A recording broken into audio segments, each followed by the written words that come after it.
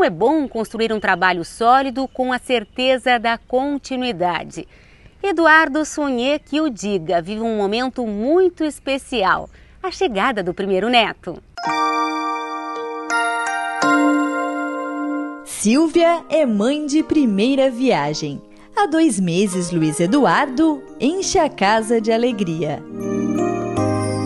É um momento muito especial que eu tô passando. E ele é um anjo, assim, ele é muito tranquilo, é uma criança muito abençoada.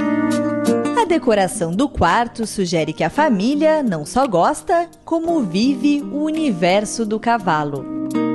Nada mais do que o cavalo, que une tanto a família, que a gente vive em torno disso, uh, para representar esse momento. Os primeiros presentes dão vida ao imaginário do pequeno Luiz Eduardo.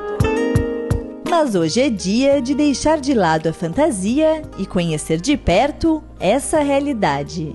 Tava um pouco demorado essa, esse primeiro contato por causa das chuvas e tudo mais, eu não estava conseguindo levar ele para a estância. Mas eu tô louca para ver como é que vai ser a reação dele ao enxergar o cavalo, com certeza. Vamos lá, meu amor da vovó.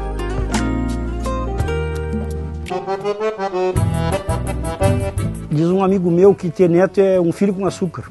Um grande amigo meu. E é bem isso, é um filho com açúcar. Já vou para fora, louco para vir com saudade dele. Desta vez, Luiz Eduardo, que veio visitar o vô. Agora, já bem piochado, o novo gaúcho daquileiro está pronto para conhecer as éguas de cria. Eu tenho três filhas, né? Eu o primeiro homem da família. Assim como eu tive o projeto com meus putris, eu tenho um projeto para esse neto. E para os outros que virão, com certeza. Quileiro Varadeiro é um dos principais reprodutores da cabanha. E quem sabe, cavalo de montaria do Luiz Eduardo. No primeiro contato, ele já parece acostumado, não demonstra medo. Convenhamos que o temperamento do garanhão ajuda e muito. Com um relincho, ele se assusta, chega a tremer as bochechas, mas choro nem pensar. Enquanto Luiz Eduardo não tem idade para encilhar, Varadeiro segue padreando as éguas daquileiro. O cavalo que eu apostei muito na sua reprodução. Usei ele bastante no primeiro ano, no segundo ano e estou, e estou muito satisfeito com a produção do cavalo. Dado não exagera. Quileiro Artigas representa a primeira geração de varadeiro. Quileiro Artigas é a cota de sacrifício da cabanha Quileiro no remate marcas de raça deste domingo, que também traz como destaque éguas prenhas de varadeiro. Quileiro Xangueira descende de dois craques funcionais, Ibirapuitã do Itapororó e Campana Farrapo. Quileiro Quenave traz na linha baixa Rapadura do Aceguá, ela tem exatamente a mesma genética por mãe do que o Valentinho Varadeiro. Reproduz muito essa égua, fica com, com a sua descendência aqui. Tenho certeza que serve para qualquer cabanha. Já Ventisqueira traz ao pé cria de varadeiro e vai prenha do bife na lista do freio, Quileiro Tero Real. Descende de outra grande matriarca, Pimenta do Aceguá. Dos 14 animais da oferta, 12 descendem de pimenta ou rapadura que junto com Vaidosa são responsáveis por formar a base genética da Quileiro.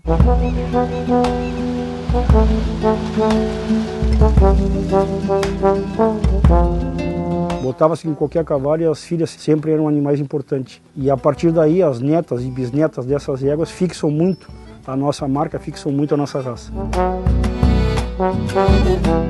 Quileiro ativista, grande campeão do Tempranito 2014, abre o remate Marcas de Raça. Assim como Artigas, descende de Pimenta do Aceguá.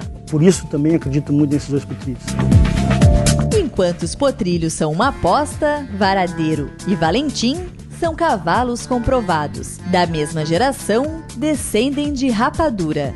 Dá um descanso um pouco no Varadeiro, que eu usei massivamente nesses dois anos e esse ano uso bastante o Valentim por acreditar muito no cavalo.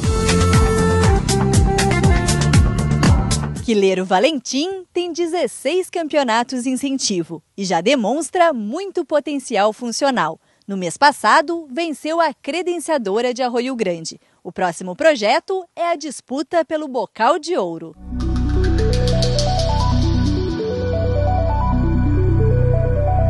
enquanto Valentim está em plena temporada reprodutiva. Cada cruzamento é idealizado com muito cuidado, experiência que vem de família.